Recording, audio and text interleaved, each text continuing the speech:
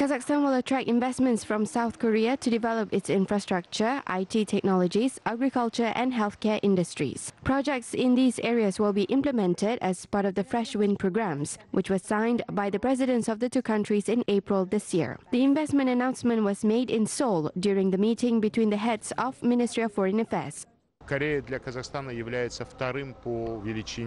Korea is the second largest partner for Kazakhstan in the Asian region. In 2018, the trade turnover between the two countries amounted to 4 billion US dollars. In 2019, the trade turnover amounted to 2.7 billion US dollars within 6 months.